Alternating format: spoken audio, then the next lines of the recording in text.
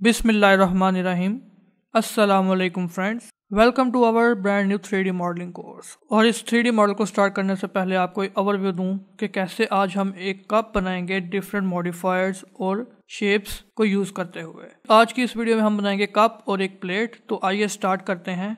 तो सबसे पहले हम प्रोस्पेक्टिव व्यू में जाते हैं तो उसमें जाने के लिए हम ये फोर्थ विंडो पे क्लिक करेंगे और आर्ट विंडो को प्रेस करेंगे। और अब हम यहाँ से क्या करेंगे कि हम ज्योमेट्री में जाके सिलेंडर शेप ले लेते हैं और यहाँ पे एक सिलेंडर शेप बना लेते हैं। आप यहाँ पे देख सकते हैं कि हाइट सेगमेंट्स हैं। यहाँ पे मोस्टली फाइव सेगमेंट्स होते हैं। तो जब आप कब बना रहे होंगे तो इन सेगमेंट्स को आपने सेवन कर लेना है। उसके बाद हम इस पर क्लिक करके इसको एडिटेबल पोली पे कन्वर्ट कर देते हैं। तो एडिटेबल पोली में कन्वर्ट करने के बाद हम पोलीगॉन टूल को यूज़ करते हैं और ये जो सिलेंडर है, इसके ऊपर का फेस जो है वो रिमूव करते हैं। तो फ्रेंड्स, जैसा कि आप देख सकते हैं कि हमारा जो कप है, उसका ऊपर का फेस जो है वो रिमूव हो चुका है। तो आइए अब इसको थोड़ा सा शेप देते हैं कर्व की मदद से और इसको कप की शक्ल देने के लिए हम टेपर मॉडिफायर को यूज़ करेंगे। तो हम इसको सिलेक्ट करेंगे और उसके बाद यहाँ मॉडिफायर लिस्ट में जाके लिखेंगे टेपर और ये देखिए, यहाँ पर टेपर आ चुका है तो इसके ऊपर हम क्लिक करेंगे और जस्ट इसके ऊपर ड्रैग कर देंगे। तो आप देख सकते हैं कि हमारा जो कप है, उसके इर्द गिर्द ये एक बॉक्स बन चुका है। तो आइए हम यहाँ पे पैरामीटर्स में जाके इस टेपर को अमाउंट देते हैं। मैं इसको अमाउंट दे लेता हूँ ज़ीरो पॉइंट सिक्स टू आप अपने मर्ज़ी के कप के हिसाब से इसको कोई भी अमाउंट दे सकते हैं। और इसको हम कर्व कर लेते हैं वन पॉइंट टू थ्री तो फ्रेंड्स जैसा कि आप देख सकते हैं कि हमारे पास एक कप की शेप आ चुकी है और ये कप जो है बिल्कुल उस शेप का बन चुका है जिस शेप का हम कप बनाना चाहते हैं। जैसा कि आप देख सकते हैं कि ये जो हमारी कप की शेप है, वो बहुत ज़्यादा पतली है, ये थिक नहीं है। इसको ठीक करने के लिए हम कप पे क्लिक करेंगे और उसके बाद हम जाएँगे मॉडिफायर लिस्ट में। और मॉडिफायर लिस्ट में जाके हम यहाँ पे ऐड करेंगे शेल और हम इस शेल को क्लिक एंड ड्रैग कर देंगे। तो फ्रेंड्स जैसा कि आप देख सकते हैं कि शेल करते ही जो हमारा कप है, वो काफ़ी ज़्यादा थिक हो गया है और काफ़ी ज़्यादा मोटा हो गया है और ये अब कुछ हद तक कप लग रहा है। तो अब हम यहाँ पे क्या करेंगे? इसको हम दोबारा से इसी शेप के अंदर एडिटेबल पॉली में कन्वर्ट कर लेंगे ताकि हम इस शेप के ऊपर वर्क कर सकें। तो हम इसको एडिटेबल पॉली पे क्लिक करते हैं। उसके बाद हम पॉलीगॉन टूल में जाएँगे और यहाँ पे जो हमारा नीचे का हिस्सा है, उसको सेलेक्ट करेंगे और यहाँ से इंसर्ट कर देंगे। और हम यहाँ पे इसको 2.03 मिलीमीटर जो है, इसको इंसर्ट कर देते हैं अंदर की साइड और यही काम हम बाहर की साइड भी करेंगे। और हम यहाँ बाहर आके बाहर वाले फेस को सिलेक्ट करेंगे और इंसर्ट करके छोड़ देंगे। तो जैसा कि आप देख सकते हैं कि इंसर्ट करने के बाद हमारा कप जो है, कुछ इस तरह से दिख रहा है। ऊपर से भी इंसर्ट हो गया है और नीचे से भी इंसर्ट हो गया है। तो अब हम क्या करेंगे कि अब हम जो हमारे कप की साइड है, जिससे हम कप को पकड़ते हैं, वो बनाएँगे। तो उसको बनाने के लिए हम लाइन टूल का इस्तेमाल करेंगे। तो उस लाइन टूल को इस्तेमाल करने के सबसे पहले हम इस कप के फ्रंट व्यू में जाएँगे।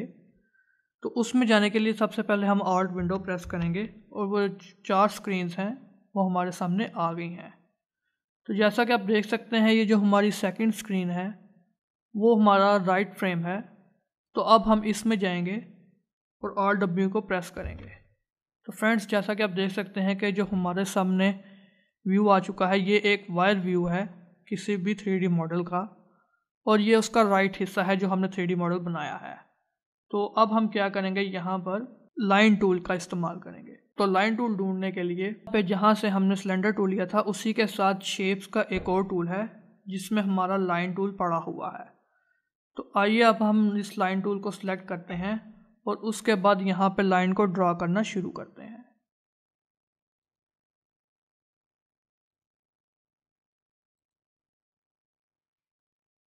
तो फ्रेंड्स जैसा कि आप देख सकते हैं कि हमने लाइन ड्रा कर दी है कप का हैंडल बनाने के लिए। उसके बाद अब हम क्या करेंगे कि इस लाइन की प्रॉपर्टीज़ में जाएँगे। तो हम यहाँ पर आप देख सकते हैं कि हमारे पास तीन प्रॉपर्टीज़ हैं लाइन की जिसमें वर्टेक्स है सेगमेंट है और स्प्लाइन है। तो अब हम क्या करेंगे? हम वर्टेक्स में जाएँगे। तो हम एक एक वर्टेक्स को सिलेक्ट करके उसको अपनी मर्ज़ी से सेट करेंगे।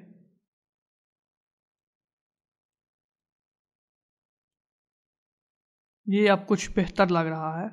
उसके बाद हम क्लिक एंड ड्रैग की मदद से जो बाहर वाले वर्टेक्स हैं उनको सेलेक्ट करेंगे और उसके बाद हम यहाँ पे ढूंढेंगे फिलेट थोड़ा नीचे जाएँगे तो आपको फिलेट मिल जाएगा।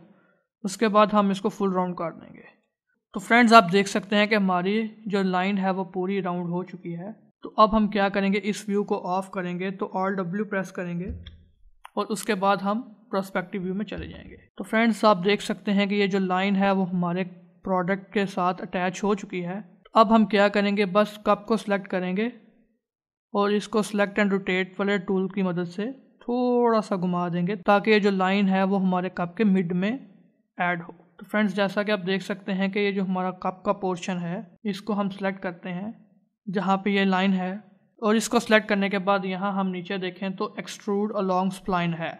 इस पर क्लिक करेंगे, और उसके बाद ये जो हमारी लाइन है, उस पर क्लिक कर देंगे। तो फ्रेंड्स आप जैसा कि देख सकते हैं कि जो हमारा कप का हैंडल है, वो रेडी हो चुका है। तो अब हम हैंडल बनने के बाद कुछ मटेरियल रेडी कर लेते हैं।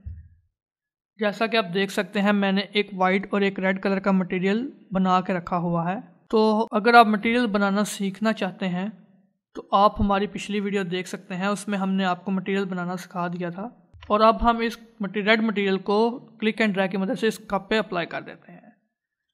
तो फ्रेंड्स जैसा कि आप देख सकते हैं कि ये जो हमारा कप का मटेरियल है, वो रेडी हो चुका है और हमारे कप पर लग चुका है।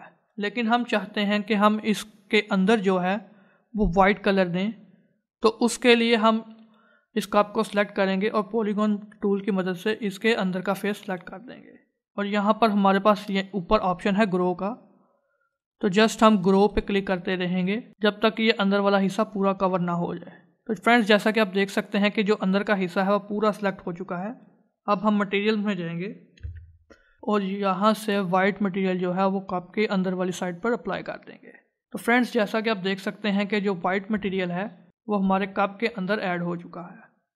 और हम अब इस कप को सिलेक्ट करेंगे और मॉडिफाइड लिस्ट में से मैच स्मूथ को सिलेक्ट करके इसको स्मूथ बना देंगे।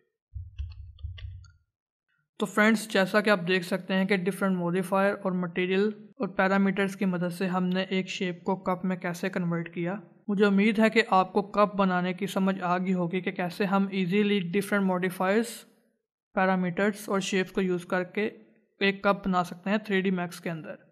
तो फ्रेंड्स, कप बनाने के बाद अब हम प्लेट बनाने की तरफ़ चलते हैं और प्लेट बनाने के लिए हम उसी तरह जैसे हमने कप में डिफरेंट मॉडिफायर्स और डिफरेंट शेप्स को यूज़ किया, उसी तरह हम प्लेट में भी ऐसा ही करेंगे। तो प्लेट बनाने के लिए हम सबसे पहले लाइन टूल का इस्तेमाल करेंगे। तो आइए स्टार्ट करते हैं और लाइन टूल को इस्तेमाल करने के लिए हम फिर से फ्रंट व्यू में जाएँगे और राइट व्यू में आने के बाद हम यहाँ पे लाइन टूल का इस्तेमाल करते हैं। तो लाइन टूल को सिलेक्ट करने के बाद आइए अब हम इसको ड्रा करते हैं।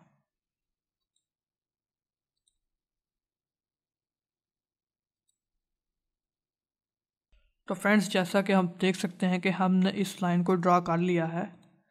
अब इस लाइन को सिलेक्ट करेंगे और इसकी प्रॉपर्टीज़ में जाएँगे और प्रॉपर्टीज़ में जाके इसके वर्टेक्स को सिलेक्ट करेंगे। और वर्टेक्स को सिलेक्ट करने के बाद हम फिलेट को इस्तेमाल करेंगे। तो वर्टेक्स को सिलेक्ट करने के बाद अब हम फिलेट टूल में जाएँगे और इस अकेले वर्टेक्स को अपनी मर्ज़ी से राउंड कर लेते हैं। इसके बाद अब हम क्या करेंगे? इस वर्टेक्स को ऑफ़ करते हैं और इस लाइन को सिलेक्ट करने के बाद हम मॉडिफाई लिस्ट में जाएँगे और मॉडिफाई लिस्ट में यूज़ करेंगे लेथ और फ्रेंड्स हम इस लेथ मॉडिफायर को क्लिक एंड ड्रैग की मदद से अपनी लाइन पर अप्लाई कर देंगे। तो आइए हम इसको अप्लाई करने के बाद अपने प्रोस्पेक्टिव व्यू में चलते हैं। तो फ्रेंड्स जैसा कि आप देख सकते हैं, हमारे पास कुछ इस तरह की शेप बन चुकी है। ये कहीं से भी हमें प्लेट नहीं लग रही। तो अब हम इस शेप को सेलेक्ट करेंगे और यहाँ अलाइन में आके इसको मिनिमम दे देंगे। तो मिनिमम देने के बाद जैसा कि आप देख सकते हैं, अब कुछ हद तक हमारे सामने एक शेप बन चुकी है। तो फ्रेंड्स अगर आप देख सकते हैं कि ये जो हमारी प्लेट है, उसकी राउंडनेस काफ़ी ज़्यादा है। तो अगर आप इसको थोड़ा कम करना चाहते हैं तो आप इसको 70 सेगमेंट्स भी दे सकते हैं। किसी भी प्लेट के बनाने के लिए जो बेस्ट सेगमेंट्स हैं, वो 70 ही हैं। तो अब हम इसको सेगमेंट देने के बाद जस्ट हम क्या करेंगे? मॉडिफाई लिस्ट में जाएँगे और मॉडिफाई लिस्ट में जाकर टर्बो स्मूथ को अप्लाई कर देंगे। तो फ्रेंड जैसा कि देख सकते हैं, हमने टर्बो स्मूथ ऐड करने के बाद एक प्लेट का डिज़ाइन बना लिया है। और आप इस तरह डिफरेंट मॉडिफायर्स और शेप की मदद से कोई भी थ्री मॉडल को डिज़ाइन कर सकते हैं। तो मुझे उम्मीद है कि आपको हमारी इस वीडियो के बाद डिफरेंट शेप्स मॉडिफायर्स और पैरामीटर्स को यूज़ करके थ्री मॉडल बनाना आ गया होगा और आप इजीली अब एक थ्री मॉडल डिज़ाइन कर सकते हैं डिफरेंट मॉडिफायर्स और शेप की मदद से। तो मैं उम्मीद करता हूँ आपको हमारी आज की ये वीडियो पसंद आई होगी। अगर आपको हमारी आज की ये वीडियो पसंद आई है तो हमारे चैनल को सब्सक्राइब करें, हमारी वीडियो को लाइक करें और बेल आइकन दबाएँ, ताकि आपको हमारी आगे आने वाली थ्री की अपडेट्स मिल सकें। और हमारी इस वीडियो को ज़्यादा से ज़्यादा अपने दोस्तों में शेयर करें। अपना ख्याल रखें। अल्लाह हाफिज़।